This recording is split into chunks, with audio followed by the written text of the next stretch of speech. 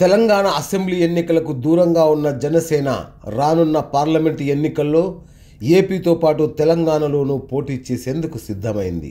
ఇప్పటికే ఏపీలో BSP CPI సిపిఎంతో జట్టు కట్టిన జనసేనాని పవన్ తెలంగాణలోనూ ఆ పార్టీలతో కలిసి నడిచేందుకు సిద్ధమయ్యారు. ఇందులో భాగంగా మల్కాజ్గిరి నుంచి వ్యాపారవేత్త మహేందర్ రెడ్డి సికింద్రాబాద్ నుంచి నేమూరు శంకర్ గౌడ్ను బరిలోకి దింపనున్నట్లు ప్రకటించింది జనసేన. ఇక తెలంగాణలో జనసేన పోటీ చేయడం వెనుక ఓ లెక్కుంది.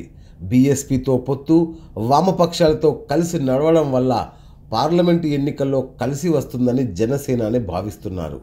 బీఎస్పీ తరఫున ఎన్నికైన ఇద్దరు ఎమ్మెల్యేలు ఇంద్రకరణ్ రెడ్డి కోనేరు కోనప్ప ఆ తర్వాత టీఆర్ఎస్ పార్టీలో చేరారు.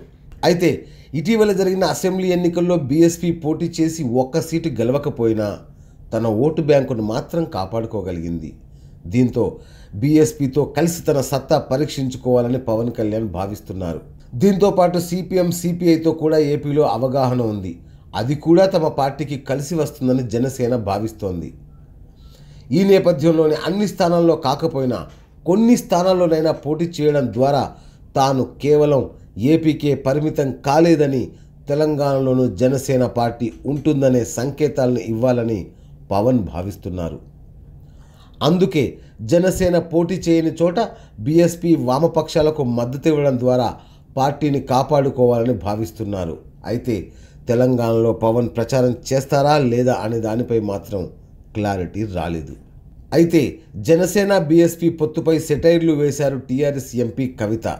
పవన్ మాయావతిది పొలిటికల్ స్టంట్ అని వారి ప్రభావం తెలంగాణలో నామమాత్రమేనని స్పష్టం చేశారు. మొత్తంగా తెలంగాణ ఎన్నికల్లో పోటీ చేయనున్న పవన్ ఏ మేరకు ప్రభావం చూపుతారో వేచి చూడాలి. Great Telangana news Hyderabad.